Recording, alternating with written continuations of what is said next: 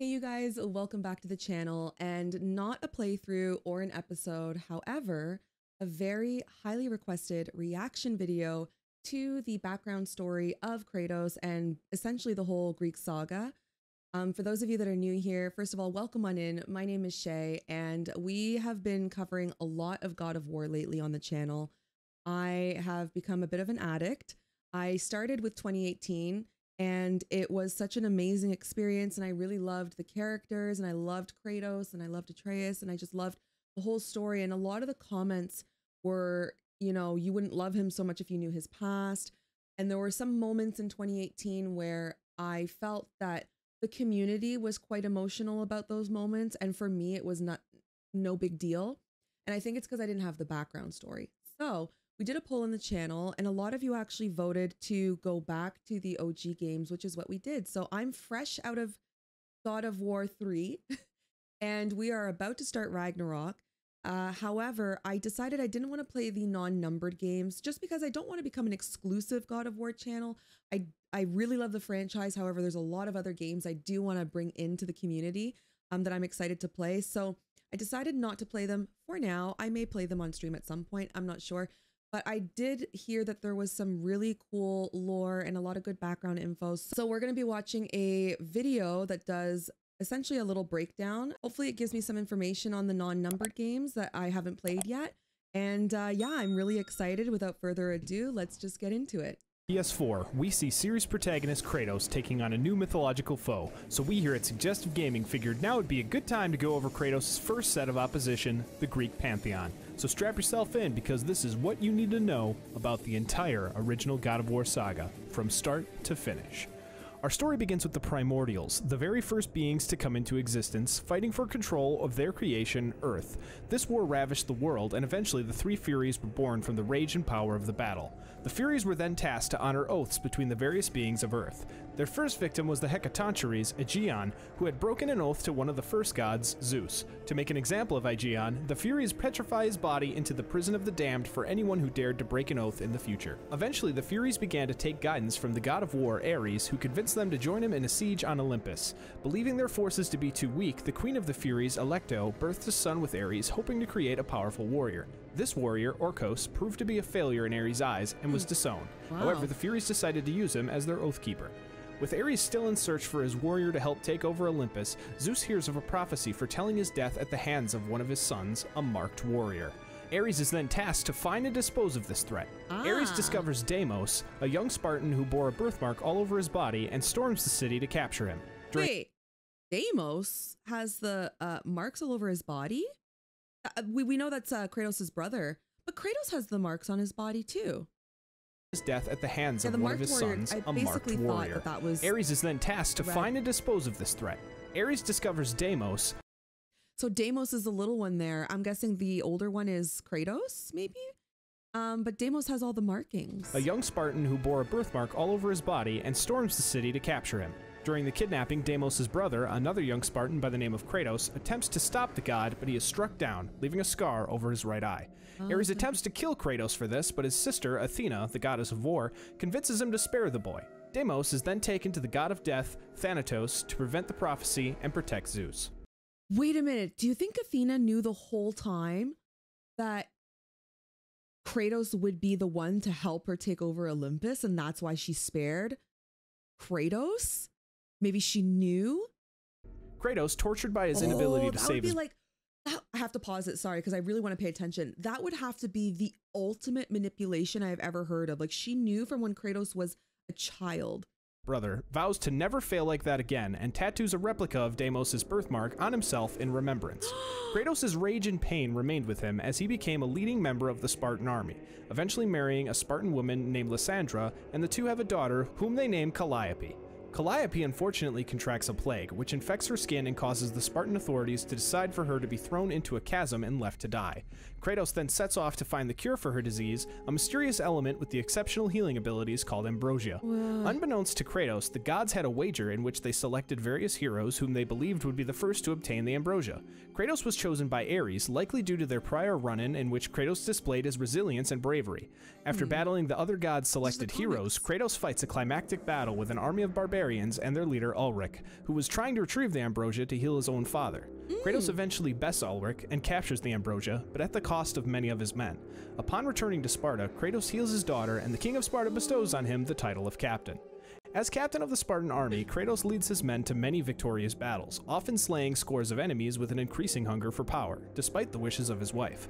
Eventually, Kratos comes across a familiar enemy, the barbarian King Ulrich, who still blames Kratos for his father's death. So this barbarian is actually a key character in the God of War franchise because not only was he in the comics, he was also in God of War 1. He made a comeback in God of War 2 as well. Kratos and his army are no match for the rebuilt barbarian army, and Kratos, moments away from death at the hands of Ulrich, calls out to Ares in desperation. Ares, seeing a candidate to overthrow Olympus, accepts Kratos' offer of loyalty and kills the barbarians in exchange. He then gives Kratos the Blades of Chaos, symbolizing his servitude to the god of war.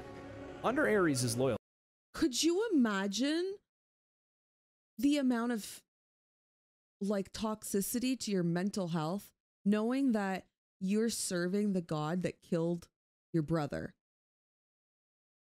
That's insane. He like quite literally sold his soul to the devil. I mean, I know Ares wasn't really the devil, but that's crazy to me. I never knew that Ares killed his brother. Or maybe we found that out. It's kind of ringing a bell. Maybe we did find that out in God of War 1 or 2, but I don't remember that fact. Guilty, Kratos slays many innocents, razes villages, and spreads chaos in the name of him. Under Ares' influence, Kratos slowly loses his humanity with every battle fought for the god. Soon, Kratos is tasked to raid a village of Athena's followers due to Ares' jealousy of Athena, whom their father Zeus favored. There, he encounters an oracle who warns Kratos of dark things awaiting him inside the city's temple. Kratos ignores this warning and enters the temple, blindly slaughtering those inside. However, afterwards, Kratos comes to realize that those inside the temple were none other than his beloved wife Lysandra and daughter Calliope. Ares reveals that he had transported them there secretly in order to sever Kratos' human ties and create the perfect warrior. Kratos leaves the bodies of his family inside the temple to burn, and as he exits, the oracle curses him, binding the ashes of his wife and child to Kratos' skin, forcing him to wear another reminder of his failures and turning him into the ghost of Sparta. Kratos then renounces his allegiance to Ares and breaks his oath, causing the Furies to hunt him down and torture him with endless illusions. Kratos then finds himself trapped in an illusion. Oh, okay. So he breaks his oath to the gods, and we know that um oh they touched on this earlier, but my old fish memory. Ares is the son of one of the Furies. Oh, I think that's what they said at the very, very beginning of the video. Um, or uh, related to one of the Furies. So they're basically haunting him for the rest of his life now because he broke his oath to the god and doesn't want to be the god of war anymore because the fact that he Ares tricked him into killing his family. of his former home in Sparta. Orcos appears before him and helps him break the illusion using Lysandra's necklace and ring. Orcos then convinces Kratos to seek out Aletheia, the Oracle at Delphi.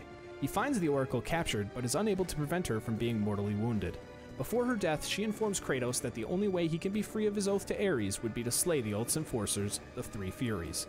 Kratos returns to Orcos, who informs him of Ares' true intentions all along to use him to overthrow Zeus. With this knowledge, Kratos travels to Delos to slay the Furies. Upon his arrival, however, he is ambushed and captured by them, and they proceed to torture him in the prison of the damned. Oh, After two weeks of torture, one of the Furies leaves an opening for Kratos to exploit and escape his imprisonment. After various battles and illusions, Kratos is able to outsmart and outfight the Furies, slaying all three of them. Wow. After the death of the Furies, Kratos returns to his home in Sparta where he finds Orcos, who reveals to Kratos that while he had killed the Furies, they transferred Kratos' oath to him, keeping the bond with Ares intact. Orcos hands Kratos his blade and asks him for an honorable death in order to permanently end Ares' hold on them. Kratos complies, killing Orcos and burning his home with the former Oathkeeper's body still inside. No longer under servitude to Ares, Kratos dedicates his life to serving the gods of Olympus as their trusted warrior. After defeating an invading Persian army for the gods, Kratos appears before them to ask for his next task. Suddenly, however, he Why sees he the sun fall from the sky, and though? permanently end Ares' hold on It them. says that he doesn't he, he he's no longer now um a servant to Ares, but then why would he continue serving the gods? I guess maybe he only thought Ares was the bad god. Kratos complies, killing Orcos and burning his home with the former Oathkeeper's body still inside. No longer under servitude to Ares, Kratos dedicates his life to serving the gods of Olympus as their trusted warrior. After defeating an invading Persian army for the gods, Kratos appears before them to ask for his next task. Suddenly, however, he sees the sun fall from the sky, enveloping the world in darkness. Hmm. Kratos follows the last trace of light he can see to the temple of Helios. After speaking to Athena, Kratos concludes that Helios had been captured, allowing the god of dreams Morpheus to entrance other gods into a deep sleep, allowing him to take control of Greece. Inside the temple, Eos, Helios' sister, tasks Kratos to awaken her brother's fire steeds in order to find him.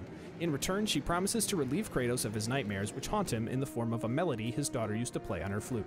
He does this, and the steeds take him to Helios' location, the Underworld. There, he meets Charon, the ferryman on the river Styx, who ultimately denies Kratos passage as it is not his time. Kratos engages him, but is knocked unconscious and thrown into Tartarus, the darkest depths of the underworld where the Oh, Titans had been chained by Zeus. Upon waking, Kratos witnesses Atlas's chains broken and the Titan missing. Kratos fights his way through Tartarus, eventually climbing out to confront Charon once again. After defeating him, Kratos uses his ferry to follow Helios' light down the river Styx to a temple. There, Kratos sees his daughter upon the shore. He follows her inside, but instead finds Persephone, the queen of the underworld. Persephone reveals to Kratos that he can meet his daughter once again, and she is now residing in the Elysium Fields. Elysium Fields, Persephone aha, tells that's why. Kratos that to see his daughter, he must make a sacrifice, to give up all of his weapons and powers given to him by the gods. Kratos does this, transferring his powers into the Forsaken Tree, and regains his humanity. He reunites with his daughter, but the reunion is interrupted by Persephone, who reveals her true intentions. She reveals that it was her who released Atlas, whom she tasked with destroying the pillar that holds the Earth. She intends for this to kill everyone, including herself, to free her from her imprisonment by Hades as his wife. Kratos Huh. painfully makes the decision to give up his ability to see his daughter and regains his weapons from the tree. Why? Doing this, he once again becomes the ghost of Sparta and, against his daughter's wishes, takes off to stop Persephone. Oh, for Kratos finds sake. Are you kidding me? He could have lived in eternal happiness. I mean, if Persephone destroyed, if Persephone just wanted to die, and if she destroyed the pillar, she would have just destroyed the world above her. Would that have destroyed Elysium? Probably not. I mean, honestly, Kratos should have just taken, you know, the easy way out and just stayed down there with his daughter.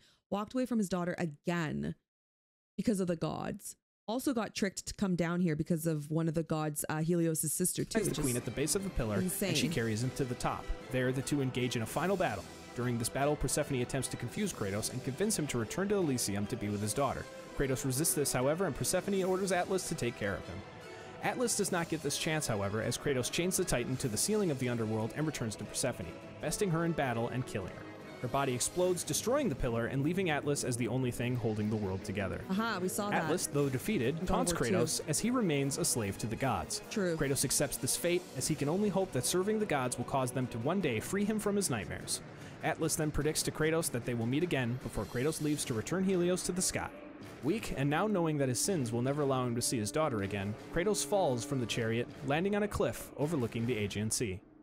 Sometime after waking, Kratos is sent into the sea to kill a Hydra and return peace to the waters. After doing so, he is approached by Athena, who asks Kratos to save her city, Athens, from her brother Ares, whose army is currently advancing. Kratos, seeing an opportunity to get revenge on Ares, agrees on the condition that the gods free him of his nightmares once and for all, as well as offer him a chance at redemption. Tricked again. Kratos enters Athens to find the town's oracle, who tells him that in order for a mortal to defeat a god, he must seek the power of Pandora's box, which is locked inside a temple constructed on the back of the titan Kronos, who Zeus cursed to wander the desert of lost souls for eternity. Kratos makes his way to the temple, encountering a mysterious gravedigger on the way. Inside the temple, Kratos solves several puzzles in order to find Pandora's box. However, Ares senses this so and throws a pillar from Athens, impaling Kratos and killing him. Ares then arrives and steals the box as Kratos dies and returns to the underworld. However, with help from the gravedigger, who refers to Kratos as my child, he is able to climb from Hades and return to Athens. There, he opens Pandora's box and gains the power to confront Ares. After a battle, Ares tortures Kratos by forcing him to relive his family's death at his hands. Kratos resists this, however, and Ares is forced to strip the blades of chaos from Kratos' arms and kills the illusions of his family in front of him. Freed from the illusion, Kratos finds a nearby sword being used as an ornamental bridge and uses it to kill the god of war. The gods Oh, praise man, Kratos for so killing the rebelling. Ares. Kratos then asks Athena to finally free him of his nightmares. Athena then finally reveals to Kratos that while she can forgive his sins, his nightmares will stay with him forever. Kratos, feeling abandoned by the gods, climbs back to the cliffs overlooking the Aegean Sea. Wait, but if she forgives his sins, then can he not uh, die again and then go to Elysium? Because she's a god, right? So if she forgives his sins, does that not mean that he's now purified and go back to Elysium? I don't understand that part. And feeling death as his only escape, throws himself off. However, Athena stops him at the bottom, claiming that there is now an empty throne upon Olympus. Kratos then enters a portal and claims his throne as the new god of war. I would never want to be Still haunted by his memories, Kratos decides to explore his past against Athena's wishes. He makes his way to the Temple of Poseidon in Atlantis. Poseidon attempts to stop Kratos, but he defeats his defenses and reaches the city. There, Kratos finds, much to his surprise, his mother, Callisto, dying on the ground. His mother? She reveals to him that his father is the one who brought her there, and that his brother Deimos Wha- What? His mother? His mother Callisto oh, dying, dying on, the ground. on the ground. She reveals to him that his father is the one who brought her there, and that his brother Deimos is still alive but does not have much time. What? Before dying, she tells Kratos to seek out his brother in Sparta. Kratos then departs Atlantis, but not before encountering the Titan Thera, whom he frees, destroying the city in a flood. Kratos returns to Sparta, but on his way encounters and kills Thanatos' daughter, Erinyes. Upon his arrival to the city, he is praised by its inhabitants, led by a young Spartan who gives Kratos his arms from when he was the commander of the Spartan army. Kratos goes to the Temple of Ares, and after encountering Ooh, do you guys think that's the young Spartan um Atreus? The one that Atreus got his name from? A spirit-like vision of his younger self, he learns that he must return to Atlantis to find Death's domain. Upon returning, however, Kratos is stopped by a statue of Poseidon, inhabited by the god, who warns him that he will pay for sinking the kingdom of Atlantis. Kratos avoids the statue and makes his way through the ruins of the city, eventually coming across the Gravedigger once again, who Yeah. cryptically warns Kratos not to alienate the gods. Kratos then finds the gateway to Death's domain. Inside, Kratos finds and frees his brother, who becomes enraged at him for seemingly forgetting about him for all this time. Thanatos arrives and intervenes, capturing Deimos and bringing him to the same cliff Kratos attempted to kill himself from. Kratos saves his brother and the two reconcile. Oh. Kratos gives Deimos his arms, and the two fight Thanatos together. During the battle, Thanatos kills Deimos, and Kratos avenges his brother by finally killing the god of death. A broken Kratos then carries his brother up the mountain, where the gravedigger has prepared a grave for him. Kratos ponders what he has become, and the gravedigger answers Death, the destroyer of worlds. Athena appears before him and attempts to elevate him to a full god. Kratos stops her, however, and returns to Olympus, claiming that the gods will pay for what they have done to Kratos and his family. As he leaves, Athena mythically refers to him as brother. The gravedigger then buries Callisto next to Deimos and proclaims upon a third grave that now only one remains, as Kratos returns to his throne and plans his next move against the gods, hmm. leading his Spartan army to conquer Greece. After launching this attack, Athena pleads with Kratos to stop. He claims to owe her nothing and turns his back on her to assist his army in the town of Rhodes. There, he spots an eagle, whom he believes to be Athena in disguise, whom robs him of his godly abilities, and instead infuses them into the Colossus of Rhodes, who comes to life and tries to kill Kratos. Zeus arrives hmm. and offers Kratos the Blade of Olympus, which he once used to win the great war between the gods and the Titans. Zeus urges Kratos to infuse the blades with his remaining godly powers, which renders him mortal once again, but allows him to destroy the Colossus from the inside.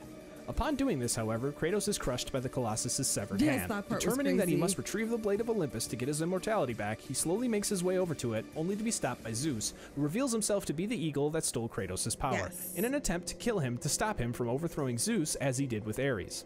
Zeus then stabs Kratos, killing him. While he is being dragged into the underworld once more, the mother of the Titans, Gaia, saves him and reveals That that, Kronos, crazy. Zeus's father, ate all of his children in an attempt to stop the prophecy that he would die at the hands of one of his sons. Zeus's mother, however, hid him on an island that was actually Gaia. Gaia raised the boy, but he grew vengeful and eventually sought to defeat the Titans, which Yeah. he did by using the Blade of Olympus. That was Gaia offers to help. Kratos exact revenge on the king of Olympus. Gaia gives Kratos the magical Oh, horse Pegasus, and he escapes the underworld to find the Sisters of Fate in order to change his Oh, past and kill Zeus. Kratos flies to the island of creation, and after besting several powerful foes, including a risen Ulrich, he comes across Icarus, was cool whom he strips too. of his wings, plummeting below the earth and landing upon Atlas. Originally refusing to help Kratos, still holding begrudgment over his imprisonment at the Spartans' hands, Atlas is eventually persuaded to help him kill Zeus. Atlas helps Kratos return to the surface, where he awakens the Phoenix and flies to the Temple of the Fates to meet the oh sisters. man, was such a good game. There, he expresses his wishes, but the sisters deny him passage. Kratos then confronts the youngest sisters, Lachesis and Atropos, who attempt to take him back to his battle with Ares and force him to die by the god's hand in the past. He avoids this effort and traps the sisters in a mirror, then destroying it to seal them away for eternity. yeah, that was a great Kratos battle. then makes his way to the eldest sister, Oh, this one was Clotho, so who operates the Loom of Fate. Kratos kills the final sister and takes control of the Loom to change his fate. He turns the thread of fate back to his death at the hands of Zeus and saves his past self by reclaiming the Blade of Olympus before Zeus has a Now, chance to. see, my question is as well. I put this. I, I think I mentioned this in the playthrough of God of War Two. I don't understand why he wouldn't have just gone back to the moment in time. I guess when. I mean, now that I know more about him, I was gonna say the moment in time when he killed his family, but you know what? Now, now that I think about it, even if he went back really far, the gods forever would have hunted the marked soldier because that was the person who was going to take down Olympus. So I guess there was no spot really for him to go back to now that I understand the whole series. Um yeah, where could he have gone really to stop this entire fate? There really was no way for him to stop this entire thing from happening. That's crazy. All he could have stopped was just I guess his own death at the hands of Zeus. Because if he went back far enough and stopped him killing um, his family um, from the illusions of Ares, he never would have been able to keep his family alive because the gods would have continued hunting them because they knew they got the wrong marked soldier. Yeah, actually, everything's really coming together now that I've watched this The two video. then engage in a battle until Zeus stuns Kratos A with a lot of lightning questions storm. are being answered. Kratos plays possum and pins Zeus before driving the blade of Olympus into the god's chest. Before he can kill him, however, Athena appears and intervenes to protect Olympus. That was crazy. Zeus attempts to escape, Kratos lunges at him with the blade, and Athena sacrifices herself by jumping in front of it, saving her father. Kratos asks Athena why she would do this, and she reveals that she did it to allow Zeus to stop the cycle of sons killing their fathers, finally revealing that Kratos is in fact a son of Zeus. Vowing to destroy Olympus, Kratos returns to the loom and turns back time all the way to the Great War. He calls out to Gaia and they return to Kratos' time where an injured Zeus is calling on his fellow gods to kill Kratos. Mm-hmm. The Titan army, led by Kratos, then storm Olympus with the intent to win the Great War once and for all. The Titans and gods wage a very intense and bloody battle as Poseidon begins to take on Gaia. Kratos draws him into Gaia's grasp and is able to weaken him, eventually knocking him onto a platform and beating him before gouging his eyes out and snapping his neck, killing him and flooding the entire world. that was insane Kratos and the. Titans then make it to the top of Olympus and confront Zeus, who, anticipating their arrival, hits them with a blast of lightning, damages Gaia, and knocks her and Kratos off the mountain. Attempting to hang on, Kratos is then betrayed by Gaia, who lets him fall as he is no longer a use to them now that they have here. reached Zeus's throne. After falling once again to his death, Kratos makes his way through the river Styx, lamenting that he was used as a pawn by both the gods and the Titans. Yeah. He then reunites with a reformed Athena, who is willing to help Kratos from her new level of existence. He Mm-hmm. then realizes the goal of his final quest, extinguishing the flame of Olympus in order to finally defeat Zeus. To do this, however, he must find Pandora, the child of Pandora's box's namesake. Now, this is the moment where way- I thought that Athena was actually a master manipulator. It was in this moment in the game where I was like, maybe Athena isn't that great. Because in God of War 1 and 2, I thought I had the wrong impression and she was actually a really good god. But now I'm seeing that, or in that moment, I thought, why is she trying so hard to help us kill Zeus when she just sacrificed herself to protect Zeus in God of War 2? That part made no sense to me.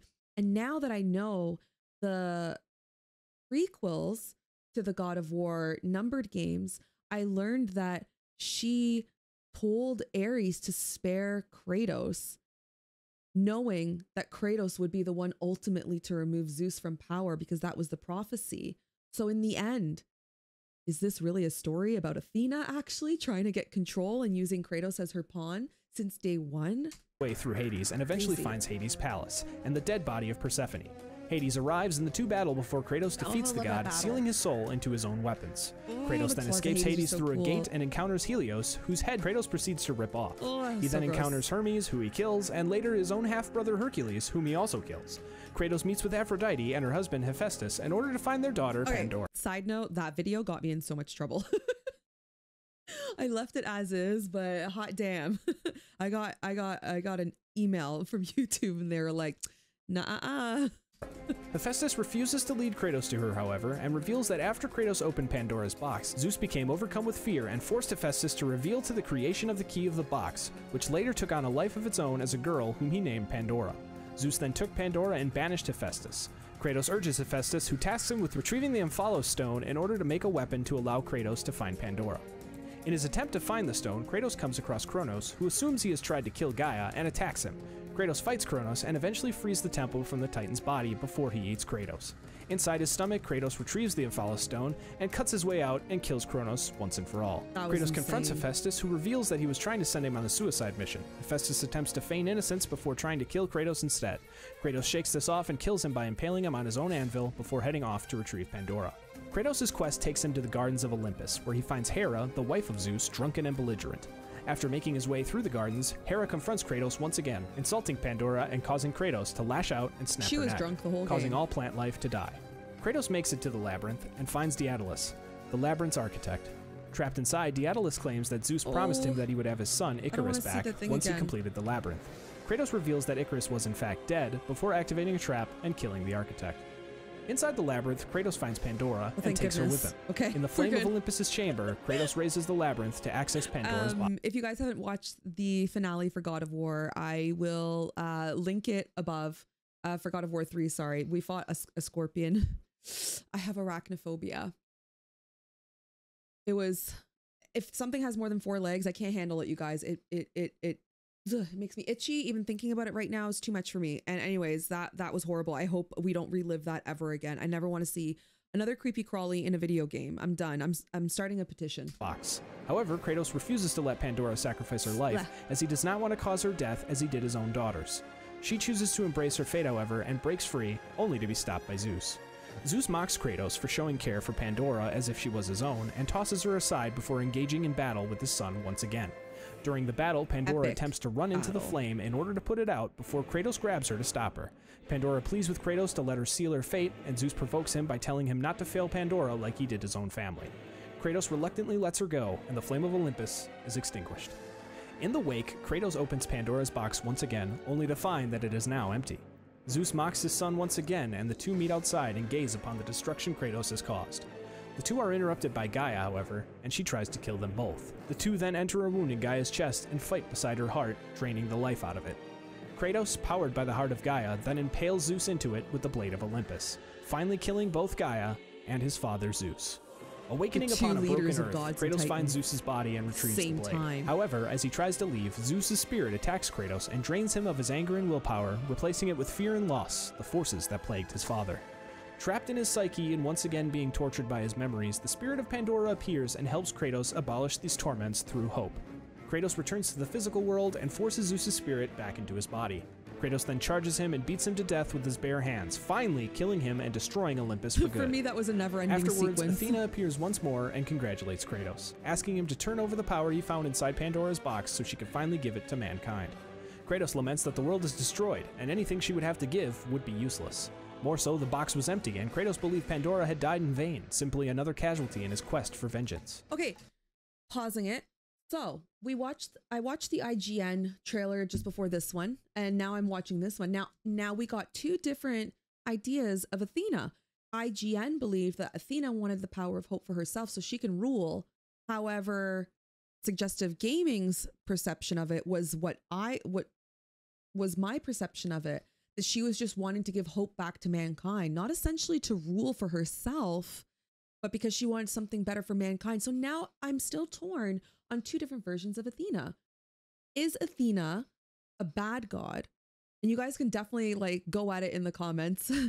um, I'm definitely interested to hear what your opinions are, but is she a good god where she always wanted mankind to thrive and not serve the gods forever and she wanted them to have their own lives. And so from the very beginning she knew that this was the only way to release mankind from their servitude to gods. And just out of the kindness of her heart she wanted to do that for for man for humans.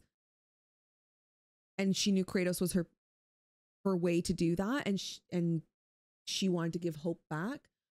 Or which is what I thought.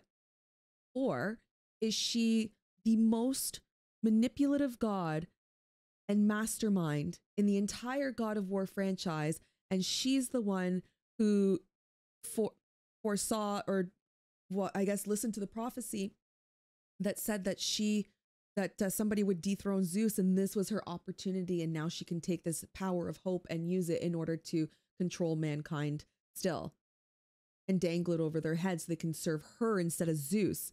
Now I'm still confused. Which Athena is she? Athena reveals to Kratos that when the evils of the Titans were first sealed into the box, she placed the most powerful weapon in the world beside them to counteract them the power of hope. Athena had initially believed that when Kratos opened the box for the first time, all of its evils had transferred unto him, and hope was lost, when in actuality the evils went to the gods on Olympus, and hope was buried deep in Kratos under his pains. Only upon forgiving himself was the power able to release inside of him. Kratos, realizing he has nothing left to live for, impales himself with the blade of Olympus, freeing the power of hope into the mortal world. Athena is angered by this and tells Kratos that she is disappointed, to which he responds with a final laugh before she removes the blade, leaving him to die. Sometime later, we see the mural where Kratos' body once was, now abandoned, with nothing but a trail of blood leading to the Great Sea. Yeah, I guess she was disappointed that he gave it back to mankind and she said they wouldn't know what to do with it. But that still doesn't say exactly that she wanted it all for herself. You know what I'm saying? So it's kind of like, I don't know, I want to believe in the good. The entire time in the game, they really made you think that she was good, unless maybe I'm the fool and I was manipulated. I don't know. Athena's such a mystery to me. that now envelop the world. All right, that was wild. Um, so now that I have a bit more of a backstory about Kratos, you guys, um, I feel even worse for him I think that the moral of not really the moral, but I would say the common theme in the God of War franchise is betrayal. And I feel bad for Kratos. And in fact, I don't actually think he's a monster. After watching all of this, I love him even more than I did um in 2018. A lot of you said, "Oh, you're not going to like him. He's a monster." But he's not a monster. He's a poor broken man who or demigod, I guess we could say, who's just broken because everything that he's ever wanted in his life has been ripped away or loved actually has been ripped away taken from him in the most brutal ways, starting with his brother because of the gods, then leading to his family. And um, then he wanted to take his own life, and he couldn't even do that because of the gods. And at every step, he was betrayed. He was betrayed by the Furies, he was betrayed by the gods, he was betrayed by the Titans. Um, it just doesn't end. So I can see now 100% why he hates gods. And I can see now why he was upset to know that Atreus actually has uh, god powers. Um, to which we still don't know because we're about to go into Ragnarok. So I'm very excited to see what those are about. I'm very excited to get back to Boy and the Kratos that we know in uh, 2018. I think that he has really harnessed hope in 2018. I find that he must have been able to harness that ability of hope when he started a new life with um Faye. I think her name was Faye, his wife. Obviously, he moved on and then they had a child, and then he sees hope in Atreus. So actually, I think the story is so beautiful. And I think that, yes, it's told in the most gruesome, disgusting, very inappropriate way for God of War 1, 2, and 3. It was very inappropriate. but uh yeah, at the end of the day, I think it's actually a really sad but beautiful story about um a man who who just at the end of the day loved his family and would do anything to protect them and rid himself from his failures at keeping them safe. I kind of think that's what the God of War story was about. And I think it's beautiful. So, yeah, I'm happy we watched this. Um, I hope you guys enjoyed the reaction video. It was a lot of me just being like, huh, because there was a lot to process. They went fast, there was a lot of information, but I think I have all the knowledge I need. Most of my questions are answered.